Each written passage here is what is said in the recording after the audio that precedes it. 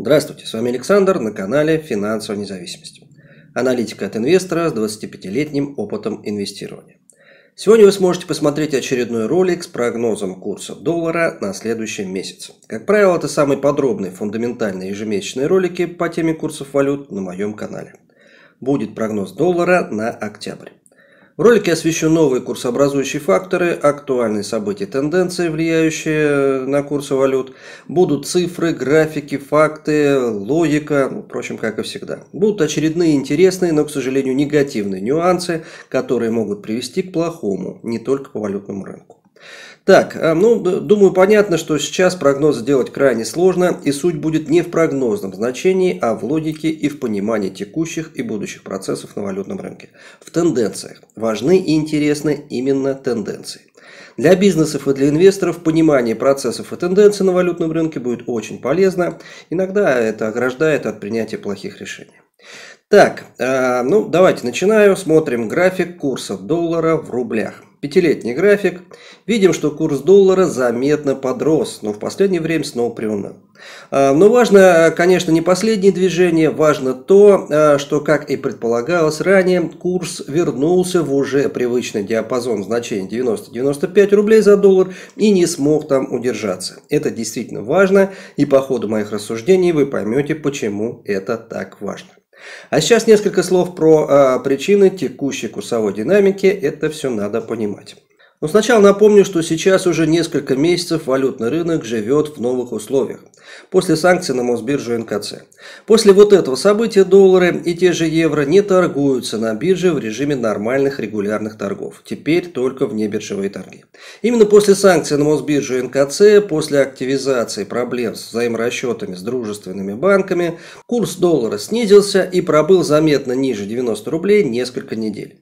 Очевидно, что санкции и затруднения в расчетах расчетах э, за импортные товары существенно перекосили основной курсообразующий механизм. Это баланс экспорта и импорта. Перекос исправлялся довольно долго, и судя по некоторым признакам и возобновившемуся снижению курса доллара, этот перекос начал снова усугубляться.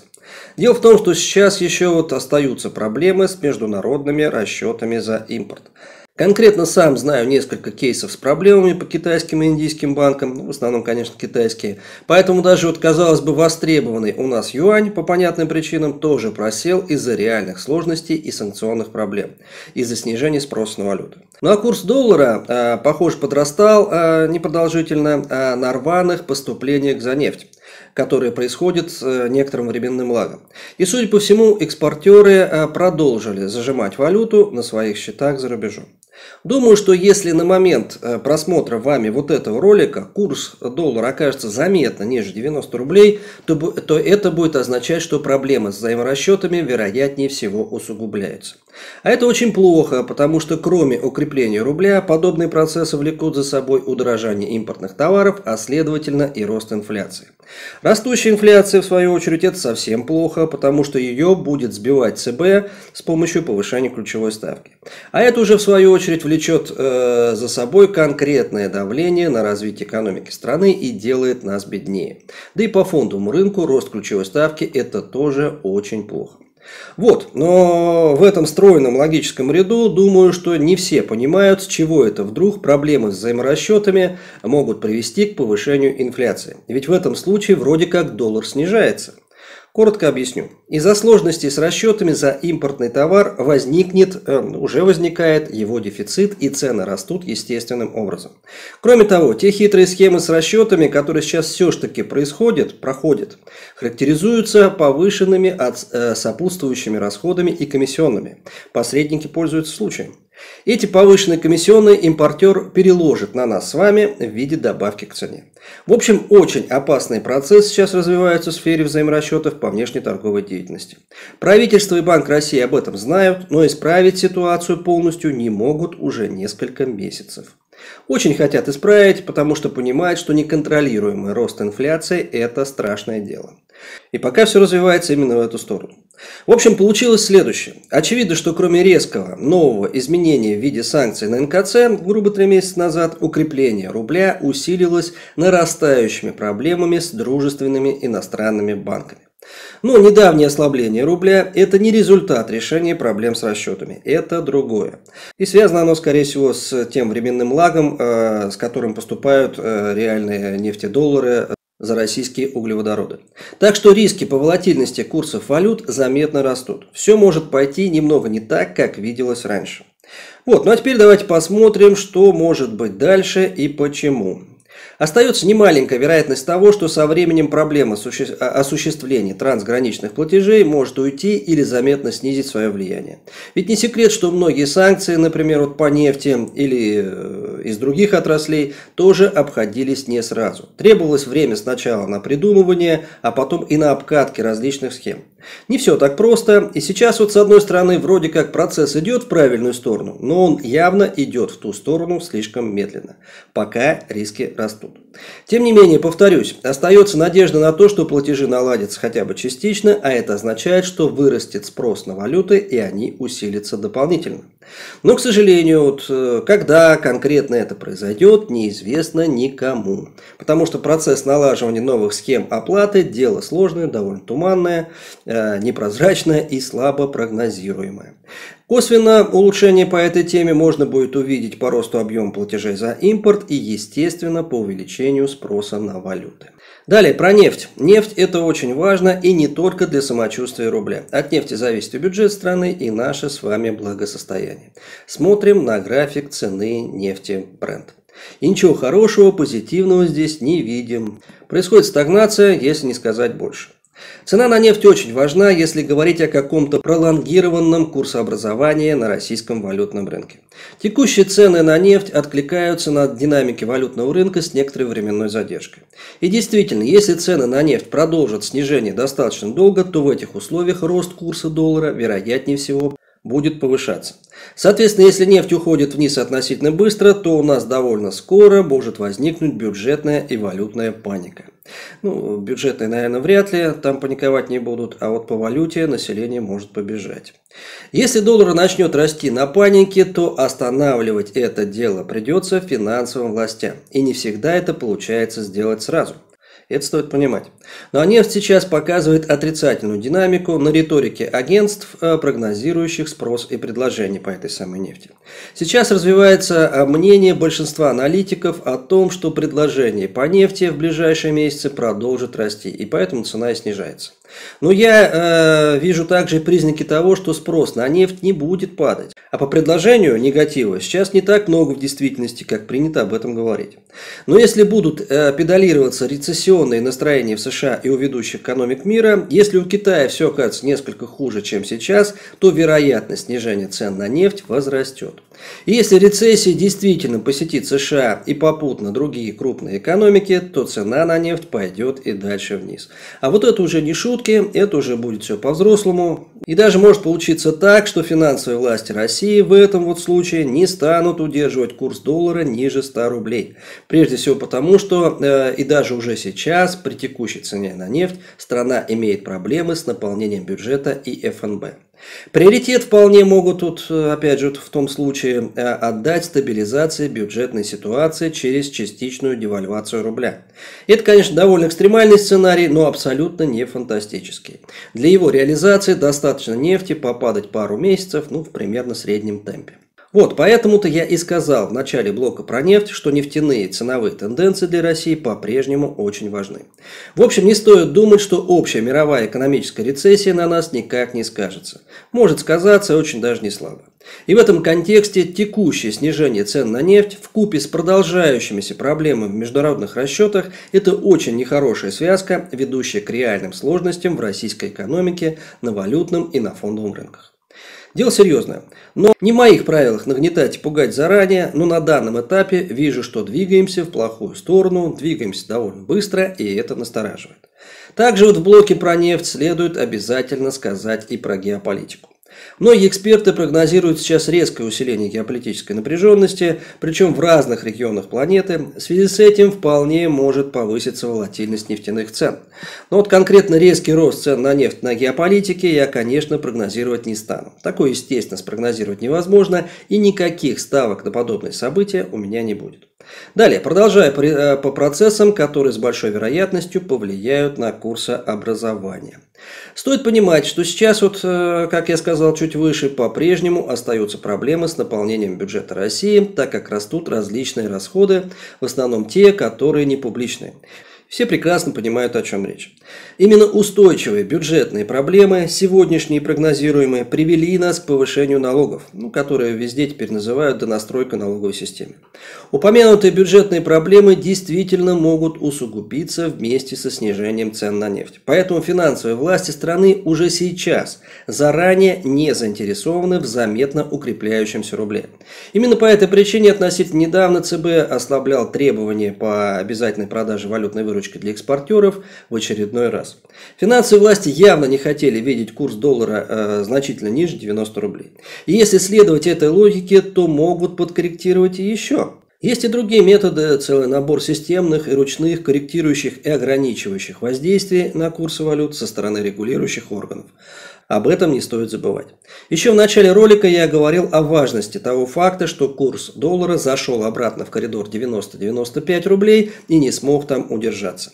Похоже, этот коридор устраивал всех, а самое главное, устраивал финансовые власти страны. А это означает, что различными действиями, явными и неявными, финансовые власти постараются вернуть курс доллара к тем более эффективным для наполнения бюджета значениям, то есть чуть повыше. Однако думаю, что специально и резко загонять курсы валют еще выше, близко к 100, руб... Э, к 100 рублям за доллар, никто не станет, особенно на фоне снижающихся цен на нефть. Сейчас действовать нужно очень осторожно и всегда помнить про нефтяной курсообразующий фактор. К тому же вот до сих пор э, вполне реален расклад, при котором по мере адаптации к санкциям и взаиморасчетным ограничениям импортная составляющая все же восстановится и естественным образом уже сама потянет за собой курс доллара выше. В связи с этим имеется немаленькая вероятность того, что курс доллара в рублях преимущественно будет находиться э, ну, примерно в районе 90 рублей плюс-минус немного. Банк России однозначно будет наблюдать за этими процессами и его явно устроит курс доллара в районе 90 рублей и даже лучше, если немного выше. Вот, далее. При прогнозировании ценовой динамики по валютам не стоит забывать и про ключевую ставку. Незначительные изменения ключевой ставки практически не влияют на курсы валют, но сейчас немного другая картина. Дело в том, что высокая, задранная ключевая ставка действует в нашей экономике уже довольно долго. А это, в свою очередь, э, способно заметно затормозить восстановление объемов импорта по естественным причинам. Имеется в виду снижение спроса на импортные товары, так как кредиты станут совсем неподъемными. Ну, уже стали. И как следствие, в этом случае рубль может ощутить дополнительный ренессанс, прилив сил и радость. Ну а при совпадении с другими укрепляющими курсообразующими факторами курс доллара тогда может сходить заметно ниже 85 рублей, и такой расклад тоже я не стал бы называть фантастическим. Такой вполне реально в сегодняшней конфигурации э, ситуации с валютами. Но все же вот жизнь показывает, что совпадение различных позитивных для рубля факторов долго не длится. Поэтому, скорее всего, вероятность возобновления роста курса доллара будет увеличиваться со временем по целому ряду других причин, в том числе и долгосрочных и фундаментальных. Вот, продолжу про ключевую ставку. Это тоже важная тема. Сейчас многое в экономике зависит от, от инфляционной ситуации в стране и от ключевой ставки. Если инфляция до заседания ЦБ по ключевой ставке начнет показывать хотя бы признаки устойчивого снижения, то ключ могут и не поднять совсем. Дело в том, что на инфляционные проблемы и проблемы развития бизнеса в стране уже указал сам президент. Я даже делал об этом публикацию у себя на основном телеграм-канале. Вот она на ваших экранах. И, ну, кстати, если заходите туда подписаться, то делайте это только через мою ссылку, чтобы не попасть на мошенников. Вот, а, то есть замечание президента может означать акцентированную борьбу с инфляцией и сдерживание роста ключевой ставки. Но если инфляция в ближайшее время ускорится, то ставку точно поднимут примерно на 2%. И сейчас, кстати, это пока основной базовый сценарий у большинства аналитиков. Также вполне реален и некий компромиссный вариант, то есть рост ключевой ставки на 1%. Ну а потом типа посмотрят на бюджет и уже позже откорректируют ставку так, как будет нужно на более длительный период времени. Такой расклад вполне реален. Э, так, э, далее, давайте перейду к другим действиям ЦБ и Минфина на валютном рынке. Э, ну, хотя рынком валютные процессы у нас сейчас назвать можно только с большой натяжкой. Так вот, процессы, происходящие в рамках бюджетного правила и около бюджетного правила, различные покупки, продажи юаней, отзеркаливание и тому подобное сейчас очень мало влияют на курсы валют. Дело в том, что итоговые объемы вывода или завода валют в систему в результате этих хитрых процессов действий остаются относительно незначительными. Влияние на курсы валют, соответственно, тоже небольшое и точно не решающее. Вот, также хочу напомнить, что все сегодняшние рассуждения, анализ баланса по экспорту и импорту в стране, рассмотрение различных э, курсообразующих факторов касаются и курсов других валют, юаня, евро там, и так далее, через те самые э, кросс-курсы по доллару. Касаются примерно так же, как и доллара, но со своими небольшими нюансами. Но сегодня эти нюансы я трогать не буду. Вот, в общем, думаю, что уже очевидно, что итоговое октябрьское соотношение внешнеторгового баланса России спрогнозировать сложно. К тому же могут появиться новые или усилиться некоторые старые нюансы, факторы и тенденции. Как минимум непонятно, как долго проблемы с денежными расчетами будут перекашивать баланс экспорт-импорт. Месяц, вот этот вот прогнозируемый октябрь, может оказаться довольно интересным. Могут быть и совершенно непрогнозируемые сюрпризы, э, особенно со стороны геополитики. Там предпосылок для эскалации напряжения сейчас более чем предостаточно. Думаю, это очевидно. Даже если и будет разрядка вот по геополитике, договоренности, существенное улучшение, то только после предварительной более серьезной эскалации. Что сейчас, на мой взгляд, уже и происходит. Но может быть и еще жестче. Вот, к сожалению. Я бы этому не удивился. Э, так вот, как я уже сказал сегодня, важной для определения баланса экспорт-импорт будет тенденция на нефтяном рынке с учетом усиливающихся санкций и платежных проблем за импорт. Обязательно стоит обращать внимание на ситуацию с бюджетом инфляционные процессы, которые влияют на позицию ЦБ по ключевой ставке. На эти данные будет реагировать и валютный рынок, и фондовый. И это более чем логично. В общем, основные курсообразующие факторы я уже сегодня либо раскрыл, либо упомянул. Про денежную массу не сказал, но там мало изменений. А, ну вот график у вас на экране, и существенных и заслуживающих внимания изменений здесь действительно нет. Ничего резкого, э, значительного и судьбоносного. Так, э, все э, ключевые параметры, моменты, курсообразующие факторы я вроде бы как описал, акценты расставлены, переходим к основному блюду, к прогнозу. Мы видим, что в последнее время курс доллара побыл некоторое время выше отметки 90 рублей и снова пошел в сторону 85 рублей. Что, на мой взгляд, говорит нам о продолжающихся, а может быть даже и усиливающихся проблемах с взаиморасчетами. Ведь укрепление рубля происходит на фоне снижения цен на нефть, а это очень ненормально. В общем, таким образом, предыдущий привычный коридор курсовых значений перестал быть актуальным, причины я изложил выше. И курс доллара, похоже, вернулся в коридор 85-90 рублей. Он там был сравнительно недолго, но все же вернулся опять. При этом, естественно, остаются предпосылки и факторы выхода значения курса как через нижнюю границу, так и через верхнюю границу этого коридора. Но, а, как я обосновал выше, текущее укрепление рубля вполне может оказаться временным. И поэтому я предпочту быть осторожным, особенно если речь идет об октябре. Впереди явно намечается эскалация геополитической напряженности. Могут быть и провокации, и усиленное внешнее давление, и так далее, и тому подобное. Поэтому мой прогноз доллара на октябрь 2024 года – это коридор значений 87-92 рубля. Все-таки я не стану торопиться прогнозировать дальнейшее существенное укрепление рубля под очевидным действием временного фактора. И это означает, что я все-таки не исключаю дальнейшего небольшого временного укрепления рубля, но вижу достаточно фундаментальных факторов для роста доллара в более отдаленном временном периоде. Это довольно ключевая фраза, вникните в нее. Также стоит понимать, что этот прогноз сделан в осознании того фактора, что текущие проблемы с международными платежами с большой вероятностью будут относительно непродолжительными. После вероятного решения этих проблем привычная тенденция к ослаблению национальной валюты восстановится. На долгосроке мы это увидим. За уже давно выбранной действующей модели развития российской экономики. В общем, на коридор курсовых значений по доллару 87,92 рубля в октябре я и буду ориентировать свои инвестиционные решения. Но и риски возможного выхода из него тоже учту. Это базовый прогноз, без экстраординарных событий и заявлений, без черных лебедей и мощных неожиданностей, без существенного выхода нерезидентских бизнесов и точно без экстремальной геополитики. Вот, а сейчас важная ремарка ко всему вышесказанному. Прочитайте на экране, это нужно осознавать, прочитайте на паузе внимательнее. Ну а на сегодня это все. Успех финансовой независимости, да пребудет с вами сила сложного процента.